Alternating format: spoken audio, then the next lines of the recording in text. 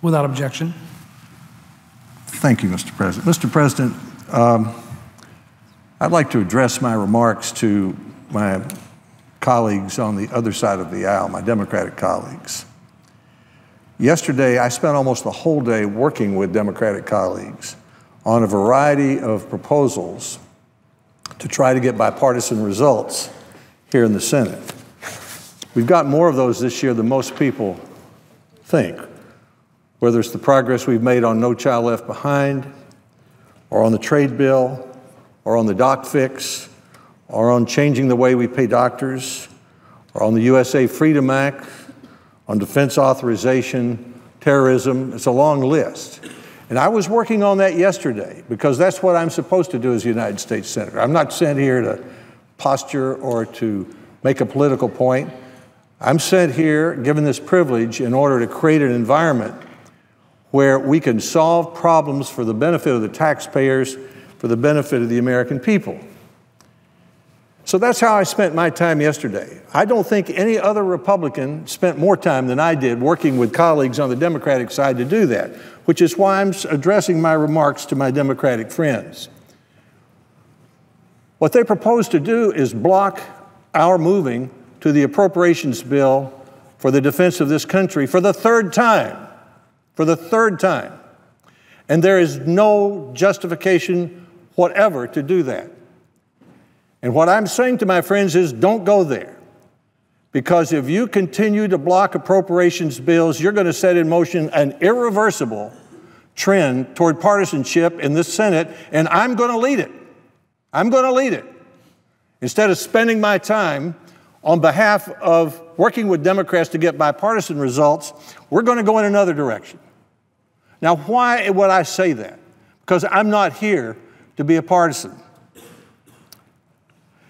Because here is, let me give you the example of this appropriations bill that Senator Feinstein, the senator from California, and I have worked on. We worked on that in a bipartisan way. I think even she would say she wrote about as much of it as I did. There are a page full of things that she thought are important for our country that are part of the bill. There are probably more than 75 senators wrote us letters about half of them Democratic senators saying, these are important provisions in the energy and water bill. Those provisions are in our bill. They're in our bill. They're ready to be considered. Twice, the Democrats have kept us from considering the defense appropriations bills. Today, they're going to do it again. And what they're saying to us is that we're going to come up with any reason, any excuse not to have a normal appropriations process. The last time was, well, we didn't have enough money. Well, the way you deal with not enough money, if that's your opinion, is you bring a bill to the floor, you vote on it, you pass it if you can, you send it to the president. If the president disagrees with you, he vetoes it, it comes back, and we negotiate and we have a compromise. That's the way it works. You don't just jam something through because you have the power to stop something or jam it through. That's the way you do Obamacare. That's the way you make sure the country has no respect for what we're trying to do. But that's what they did, and so they got a result. And it's a result I'm not unhappy with. I voted for it. I voted for it. But what it does is create additional spending for defense of more than of $339 million, more than the president asked for in our bill, the energy and water bill and additional spending for non defense discretionary funding of more than $1.3 billion higher than the president asked for. I'm glad to see that because that money goes for ports, locks, and dams. That money goes for the Office of Science so we can have, have, have revolutions in manufacturing that create jobs. Money that can help with our biomedical research that we need to do. Uh, they're important things we need to do, and this bill will help us do them. But why would we not begin to debate that? Why would we not let the other senators do it? All we're proposing to do is to begin to do some of what in December we should have done in June and July. Now, the majority leader knows that he can't put every one of the 12 appropriations bills on the floor. There's not enough time. Not enough time this year. Why is there not enough time? Because the Democrats blocked it in June. They kept us from going to the bills, even though this is the first time in six years that all 12 appropriations bills have come to the floor. Why is that important? That's what we do here.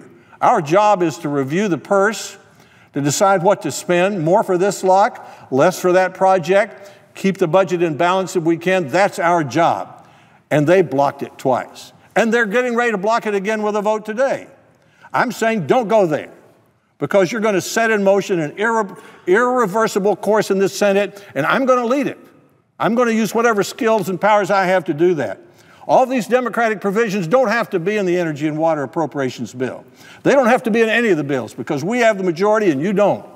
So we're going to play that kind of game. We can play it too. We can play it too. I'm not one who usually does, but I'm able to play. I'm able to play or I wouldn't have gotten here.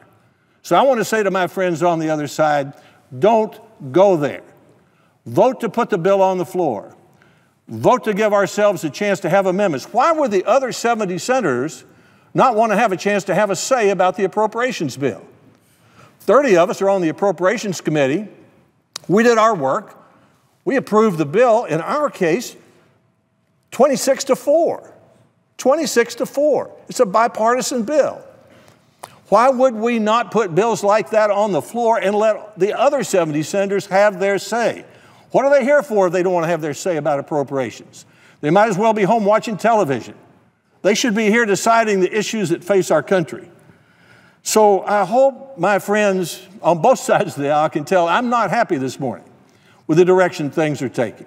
I don't like the fact that I spent all day working with Democratic colleagues to get bipartisan results, and they come along with a tactic for the third time that says if we don't get everything we want, we're going to not have an appropriations process. Well, we'll see how that goes. We'll see how that goes. And it will go not in a way that's good for the country, not in a way that's good for the Senate, but it will give the people who have a majority in the Senate a chance to assert themselves and write the bills. At least we can do that. There's no reason really why we need to have 75 senators' ideas about priorities in the energy and water appropriation bill if the majority doesn't want to. There's no reason to have the ranking members' opinions in any of these appropriations bills if the majority doesn't want to. Now, the way we have worked in our committee, and I've worked with a senator from California for several years who's just a terrific person and a wonderful senator, is we've worked together so, why should we stop that process when the bills come to the floor? So, I respectfully, through the chair, ask my colleagues to think again. Don't do this. Don't send us a signal that we're never again going to have another normal appropriations process for the United States Senate. The American people don't want that. We don't want it, and I am sure, I can assure you, that my friends on the other side don't want it. So my hope comes. My hope is that one way or another, the majority leader and the Democratic leader have a conversation and that the Senate come to its rational senses and begin a normal appropriations process with as much time as we have between now and the end of our time here in December, which would be a signal to all of us that we're going to work in a bipartisan way on a normal appropriations process for the good of the country. And that we're not just going to try to think up any excuse we can think of not to move an appropriations bill to the floor. Two years ago, the majority leader simply wouldn't bring the bills to the floor. This time, the minority leaders blocked the bills coming to the floor. Let's get back to work, for heaven's sake. That's what we're here for. I'm ready to go to work. I much prefer the way I worked yesterday, working with my colleagues, but I'm prepared to work in another way if that's what we need to do to get some balance in the United States Senate. I thank the President. I yield the floor. Mr.